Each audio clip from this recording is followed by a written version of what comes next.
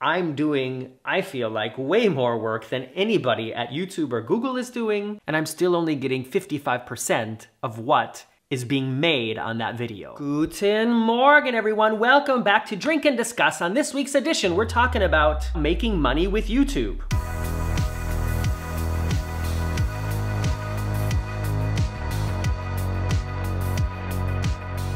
Welcome back to Drink and Discuss, the show where every week we sit down here in front of the blue sofa, discuss some topic, and have a tasty drink. In the Mixing It Up episode, coupled with this week's video, I made a margatini, which is a potent mix between a margarita and a martini. However, I'm not gonna drink it today. I actually poured it back into the shaker and put the shaker in the fridge to save it for another day. I'm just having a glass of cold water in this Rolling Stones no filter tour souvenir cup. During the, you know, stay at home quarantine social distancing period, I have been enjoying a lot of drinks and a lot of great wine and trying new things out and I just decided maybe I'll take a break for a while. So I'm taking a week off of alcohol and I just thought I'd share that with you too. YouTube, one of the most popular websites in the world at the moment, a place where a lot of people spend their online time, and a website that has changed my life. I'm assuming most of you have ended up here because you know me from the very unofficial travel guides, and the the numbers and the details and everything that I'm gonna be telling you about today are all related to the very unofficial travel guides because at the moment here on April, what is it today? Who knows what day it is anymore? April 22nd, 2020, this channel, the Guten Morgan channel, does not have enough subscribers or watch time to qualify for monetization yet. I'm really looking forward to that happening, but there's a little ways to go. But the very unofficial travel guides, my my main channel and the one that really has a lot of momentum going for it, that has been monetized for several years now. And over the years, the uh, the opportunities and the success of that channel has grown and grown and grown and grown. Pretty much in this direction until February 2020. However, I do get asked quite a lot, how much do I make and how do I make money on YouTube? And so I thought I would sit down here on this channel and talk about it. And I hope that I will answer almost all, if not all of your questions. And if not, then let me know in the comments below. How do I make money or how does anybody make money on YouTube? Probably the most popular and the most well-known revenue, uh, revenue source on YouTube, if we're just speaking specifically about YouTube, is called AdSense. And that is the money that we creators make from the ads that Google sells on the videos. So you know, you've got the ads that sometimes are like, you know, like little video commercials that run before or during or after the videos. You've got the little like click away things that show up down here or over on the side. That is all advertising space that has been sold to some company, whoever, you know, the video is for, the advertisement is for. And the more successful a video is, especially in the first few days, the more money it will make, I guess is a good way to say it. I imagine that these channels of people who upload a video and it just automatically gets, you know, like in the first week, several hundred thousands of clicks, um, you know, I'm pretty sure that uh, they are making more money with their clicks than I am on the very unofficial travel guides. And I see a different, definite difference between how much I make over time with certain videos in a direct reference to how well they perform like in the first week. And so what I'm imagining happens, and I mean, I've never met the people who are like directly responsible for selling the ads on my channel on the very unofficial travel guides. Maybe it's all just robots. But I picture it like this. So let's say I upload a video like my uh, Carnival Cruise Line Balcony Cabin Tour video. This video is the most popular video that I have uploaded so far in 2020. And sometimes it goes really well and sometimes it's like almost nothing. And I'm gonna show you how much money I made with that video in just a little bit. So I know that that video during the first week also had several thousand views. I think it got around 4,000 views alone just in the first week within the first days of it being uploaded. So, like I said, I picture that there's some agency, some agent who then like calls, I don't know, Levi's Jeans and says, listen, person in charge of advertisement at Levi's Jeans, we have this video that is uh, performing very well. It is getting, you know, a thousand clicks a day by people living in these countries, in these age groups with like this much money to spend. Would you like to place your ad on this video and get a thousand impressions a day for this price? That's how I imagine it happening. Like I said, how it really happens, I don't know. I just see the end result. So some company is paying Google AdSense to advertise on the video. And I guess business-wise that all makes sense, but it took me a while to understand that. I, as a creator, at least at the level that the very unofficial travel guides is at now, I have no control over that process. I can decide if I want ads to run on the video, if I want them, if the video's over 10 minutes, I can pick if I want ads to be like in the middle of it. I can pick where they are in the middle. I can choose if I want just like click away ads and not like the video ads. I can choose all that, but who advertises on my channel and how much they pay, can't do anything about it. Somebody at Google sells the ads on my videos and I get 55% of the income that my channel generates. So however much all of the videos are making, I only get a little more than half of that and 45% of it goes to YouTube or Google. And you know, that is really not a very good split when you consider that I'm putting like all the work into creating this content. I am the one who is, you know, fronting the budget for these trips and I am the one who's going out there and seeing the sites and capturing all the video footage and editing it together and coming up with the ideas and putting it online. I'm doing, I feel like, way more work than anybody at YouTube or Google is doing, and I'm still only getting 55% of what is being made on that video. Of course, the more successful your channel gets, the more like goodies you get from YouTube. For instance, I am allowed to go to the YouTube spaces. So in many major cities around the world, the one in Germany here is actually in Berlin. So not my hometown, but I have been there and I plan to go there again to produce some things. These are like full dedicated studios that I can use as a YouTube creator with over, I don't know, however many thousand or tens of thousands subscribers. I can go there and use everything inside all the technology, the green screens, all the fancy schmancy cameras and audio systems and the editing suites, I can use it all for free. So that does save me a lot of money if I was going to be using any of that stuff anyways, but it's not something that I can like pay the rent with, you know what I mean? Water. But getting back to actual income, like like euros or dollars going into my bank account, the well, up until this whole corona thing happened, the the biggest source of income for me was Google AdSense. As I mentioned, around February of this year, it all like literally came crashing down. My Google AdSense is down like on the past few weeks it's been averaging 70% less than I was making before Corona appeared. Really, really rough for me right now as a content creator and somebody who has budgeted, you know, my life and my plans on thinking that I was getting this much and now it's like this much. So AdSense used to be the way that I made the most money with what I do on the very unofficial travel guides.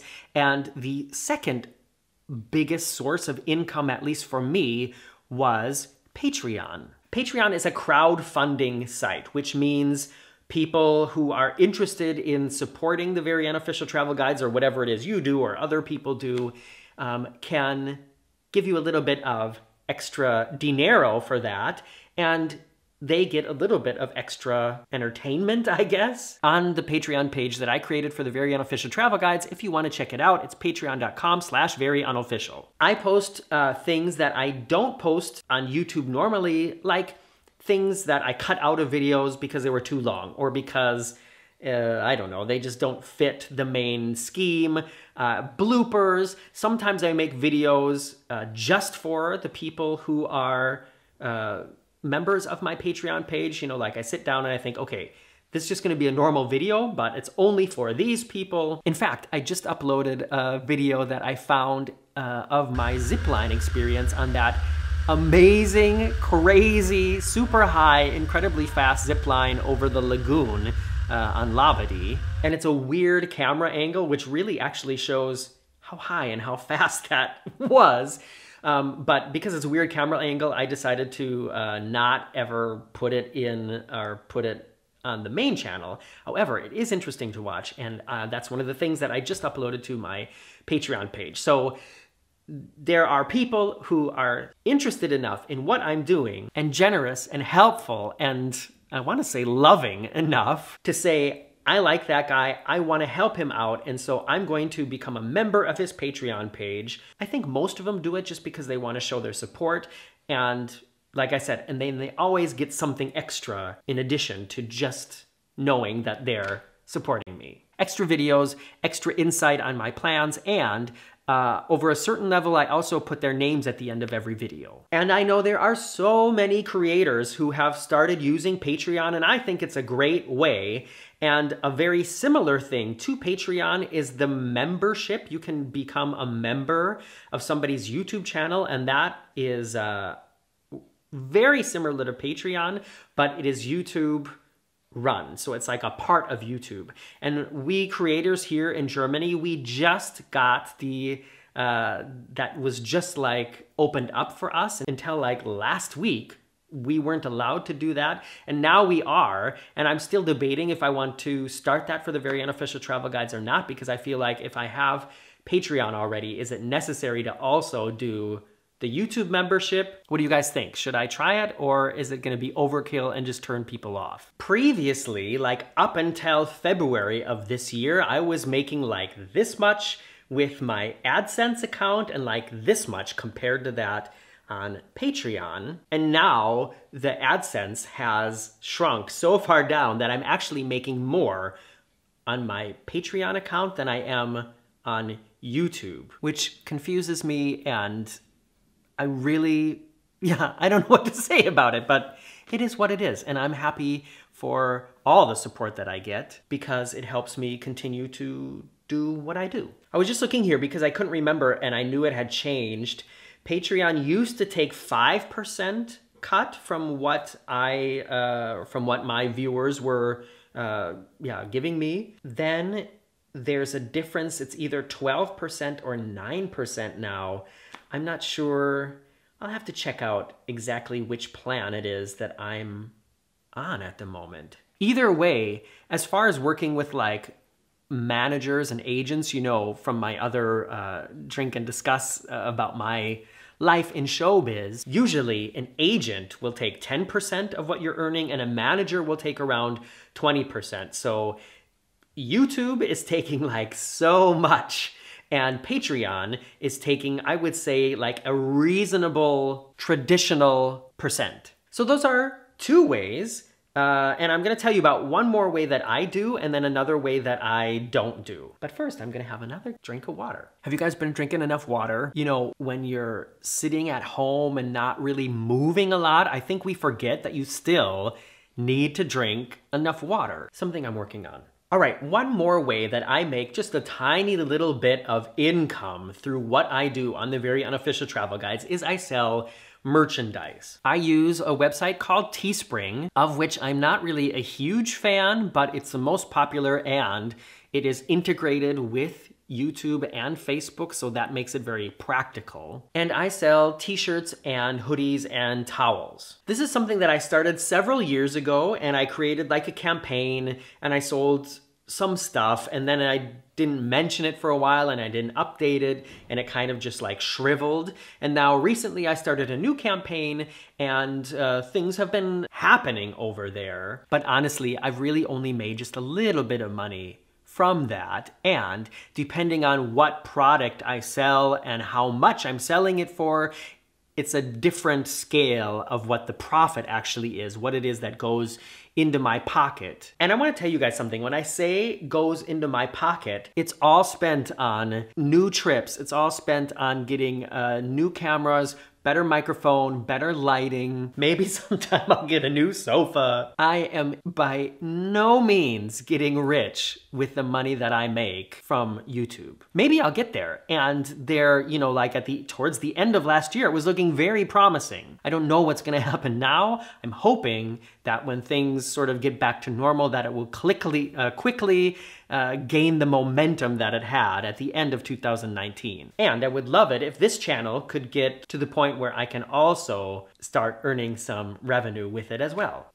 I told you I'd tell you about one thing that I don't do over on the Very Unofficial Travel Guides, or I, I think I've done it once or twice and just haven't had a lot of success with it, and it doesn't really feel good to me. And that is um, have sponsors. There are a couple websites that help companies find YouTube sponsors and YouTubers find companies to sponsor them. And then what happens is a company will either send you some product or pay you to go someplace and create a video about that place or that product. Most of the time, that also involves creating a favorable review for this hotel, for this surf school, for this bottle of water, I don't know. Insert your example here. And that's something that I kind of shy away from on the very unofficial travel guides because I say that I travel around the world to popular and not so popular tourist destinations to give you a very honest, unofficial look at what it was like to be there. And if somebody's paying me to say that it's fantastic, then I'm not being true to my audience, and that's not what I want to do. And luckily, the very few times that I have been, well, you know, to tell you the truth, I have never been paid to go anywhere and do anything for the very unofficial travel guides. I have been invited and gotten stuff for free, like travel costs and hotel rooms and theme park tickets. And I've always mentioned that they were provided to me. And luckily, every time that that's happened, it's been amazing anyways. So I haven't had to like have that moral dilemma in my head. Tell them how fantastic it was, even though it was terrible. No, Morgan, tell them the truth. So that's been a good thing. And I think that now I have more time anyways, and I will be pursuing, I want to call it more like partnerships. So many cruise ships and travel companies, they do social media trips where they invite a lot of creators to come for to to like showcase a new ship, a new private island, a new hotel, things like that. And I would love to be in that group of people. I would love to be on those lists. Not only because I love to travel and I have fun doing those things, but because the more stuff that I get for a lower price or no price allows me to create ultimately much more content for the people out there who are entertained by my videos and who come to the very unofficial travel guides looking for helpful information for a trip that they are planning. You know what I mean? All right, so I told you I would tell you how much I made from that one video this year. And let me go to the creator app here to tell you specifically how much it was. And like I said, it, it goes up and down. It is really variable. And I don't want to say that this is um, like standard. I have made from February, March, April. So in the last like two months, I've made $122.48, which is probably around like 118 euros, 112 euros maybe. So that's for one video with almost 35,000 clicks. And to me, when you consider the amount of money I had to spend to go on the cruise and then the amount of time I spent to create and edit that video, you know, just the one video, it really doesn't add up. But when you consider that I'm uploading two videos a week, sometimes three videos a week. And like I said, hopefully someday soon I will be able to um, join AdSense with this channel as well. Then it kind of comes together. I'm not courageous enough at the moment to be one of the people who shows you exactly what I made for the whole year. But I thought maybe just by showing you for this one video, it would give you just a little idea. And like I said, a video that only has like 5,000 uh, clicks now that I uploaded in January. Relatively speaking, that's going to be making way, way less money than this one is, not only because of the less clicks, but just because the ads that will be sold on it won't be of a high value. Is this what you guys expected? Was any of this surprising for you? Was any of this like, news for you. I hope you found this interesting. And as always, I hope you guys are doing okay out there, feeling healthy and happy and staying positive and drinking enough water and the occasional cocktail if you prefer. And I hope to see you back here next week for another episode of Drink and Discuss. See you then.